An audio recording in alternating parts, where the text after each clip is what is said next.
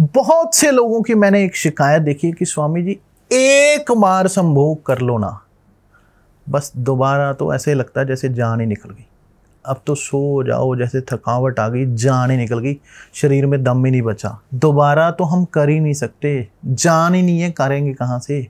और इस वजह से तो कई लोग संभोग करने से डरने लग जाए कि ऐसे लगता सारे शरीर की शक्ति ही खारिज होगी, सारा शरीर ही निचुड़ गया, दम ही निकल गया। अब ऐसे में क्या करें?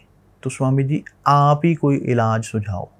मैं आज आपको ऐसी चीज़ बताऊँगा, अगर आप इसे रोज करेंगे तो आपके अंदर फिर से जवानी कौंदने लग जाएगी, फिर से जवानी छलांगे मारने लग जाएगी।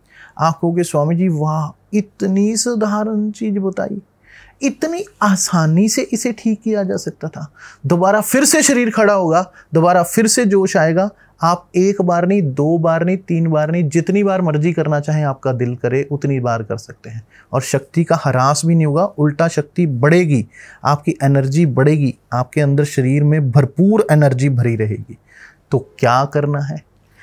एक गिलास दूध लेना है, बड़ा गिलास। और उसमें तीन इलायची लें और इलायची के पहले दाने निकाल लें खोलकर। वो जो दाने निकलेंगे काले काले से, उसको किसी खरल वगैरह में रगड़ कर पीस लें। अब जो वो पिसने के बाद, उन दानों को आप दूध में पकाएँ।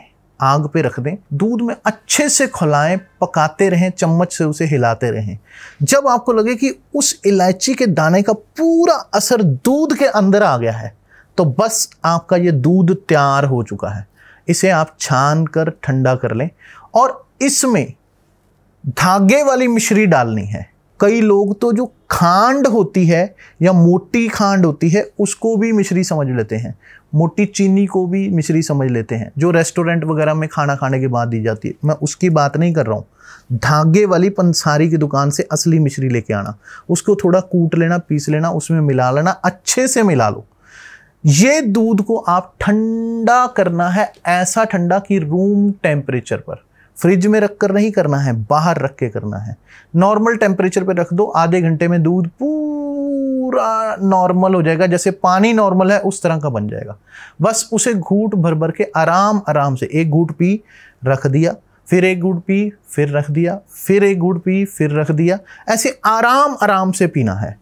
उस दूध को हर रोज रात को पीना शुरू कर दो। आप हैरान रह जाओगे, हक्के बक्के रह जाओगे कि कमाल हो गई। आपको याद है जब आपकी पहली बार सुहाग रात थी तो क्या हुआ था? टेबल पर गिलास दूध का रखा गया था। तो वो बड़े बुज़ुर्गों ने क्या क्या इशारा किया था आपको? कि अगर आप अपनी संभोग शक्ति बढ़ाना चाहते हो तो दूध पिया करो रोज रात को। और जो मैंने तरीका बताया है, उससे तो दूध की पोटेंसी इतनी बढ़ जाएगी कि आप कहोगे रग रग में ताकत आ गई आप इसे करके देखें, हर रोज करें, आप कहोगे, कमाल होगी स्वामी जी।